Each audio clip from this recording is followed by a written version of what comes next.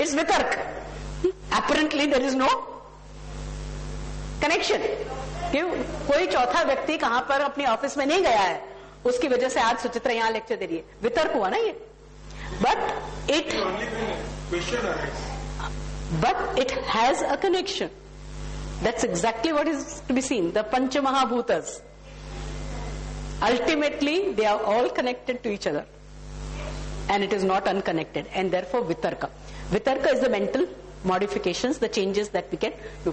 But can we meditate on this without words? Is what I am asking. We cannot. We are so dependent on the words, and that is why our buddhi is not pure. It is not sattvic. It is tainted a lot with rajas and tamas. That means it is in the ahankara state. We are not in the buddhi state. We are not in touch with the buddhi. And Ritambhara is the knowledge that can be gained only when pure sattva is there and we have attained that pure sattva. Like the comparison given is of a crystal. Crystal clear. Why do we say something is crystal clear? When if you place a red flower near a crystal, the crystal will not distort it.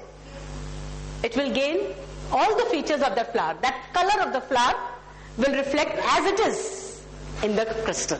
That's the nature of crystal. There is a in uh, Patanjali. Yeah. Small stone. Yes so या ये वितर्क है ये जो आप बात कर रहे हो दीज आर द वितर्क हमारे दिमाग में इसने कितने सारे वितर्क बनाए ना अभी लेकिन फिर भी हमको इसका प्रज्ञा नहीं हुई प्रज्ञा the wisdom about this it is not डीमिस्टिफाइड the whole thing for us It is not totally demystified. It is because there is a lot of tamas in our mind as yet. There is a lot of tamas. When this tamas also is removed, and no changes take place in us, or we do not modify any information that goes into us. Hmm? आज हम आ, एक दूसरे को आप मिलते हो एक दूसरे को देखा आपने आपके दिमाग में कुछ चेंजेस आए ना, आपने सिर्फ़ प्योर उस आदमी को नहीं देखा। हम्म?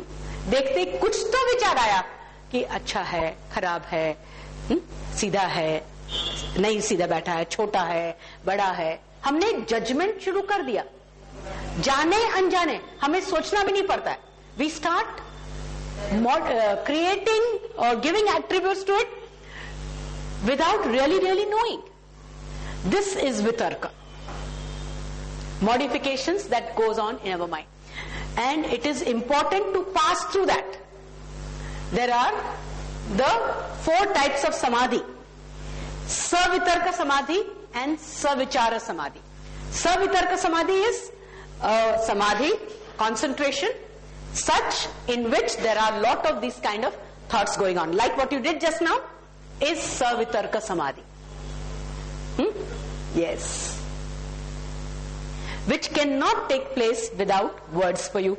And that's why I could ask you to put it down, pen it down, because you're doing it in words. Can you think without words in this manner? We can't. So, Savitarka Samadhi is one. Another is Nirvitarka Samadhi.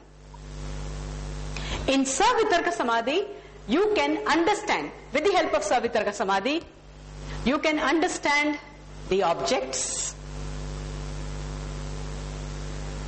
and two of you. So this is the Grahya and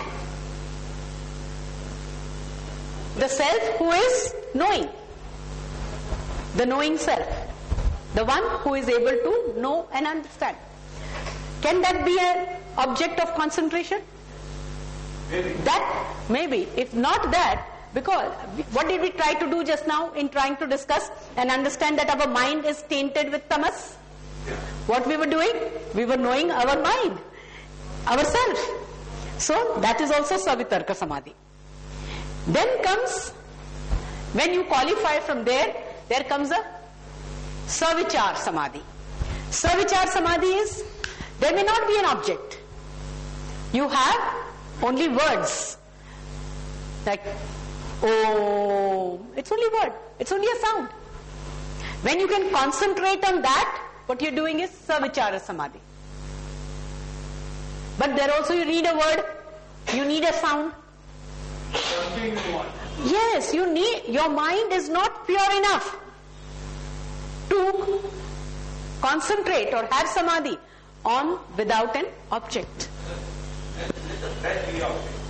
That also is the vichara. Huh? Yes. But when you are, okay, so here there is object also, there is self also, and there is the means to the uh, objects and the means to the object. So I'll give you the technical word grahan, grahya and grahita. Grahan, grahya and grahita. Grahan is the object. Grahya, uh, sorry, grahya is the object. Grahan is the one who is knowing the object is the grahan, grahya and grahita. Uh, grahita is the one who is knowing the object, grahan is the object, grahya is the means, the tools, the mind through which you are knowing the object, the machinery that you are using for knowing. So all these three, but in each of this case we need some words. Then comes what is known as nirvichara samadhi where the abstract is there, but no words, no thoughts of either grahan or grahya or grahita. When that happens, then it is only sattvic. Can you imagine that kind of purity of the state of the mind? That is when buddhi is by itself. And in that buddhi, it is so crystal, crystal clear that anything, any object presented to it, it would know it in its total. Whether it is from the minuscule to the universal size, from near or from far, in its past, in its present, or in its future. Total knowledge, nothing, nothing would remain unknown to it. This is what is revelation. Revelation. Revealed. The truth is revealed. Is it No. necessary to create like? It is through this process Vedas and Upanishads were revealed. Here Vikalpa Samadhi. Yes, was revealed to our saints and sages. And therefore they are not books, they are not texts. They are revelations. They were not written. They were revealed. There's absolute truth in it. I'm sorry, you're talking about. That kind of means to know the total truth. Hmm. The absolute truth will, will be known to us only through that kind of a mind. Are we willing to work towards that and gain that kind of revelation about any object outside us? And then, but that's not what we are really working at. What we are working at is these objects. What is the object outside us? We are talking about all these. These are the objects of concentration. You need to exercise savitarka, nirvitarka, nirvichar, savichar and nirvichar samadhi on all these objects. The five organs of sen- uh, senses, the five organs of action, the mind itself through which we are knowing. Then we need to exercise savitarka, savichar, nirvichar samadhi on the five bhutas.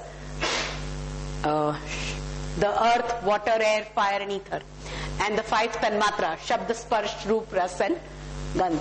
So when we have concentrated on these, do we get an understanding of I am, the grahya, the one who is knowing. And when that becomes an object of concentration, you know what has to be known, you know the one who is knowing, and you realize that it is nothing but pure sattva reflecting the light of Purusha. Buddhi thinks that I am knowing because under the influence of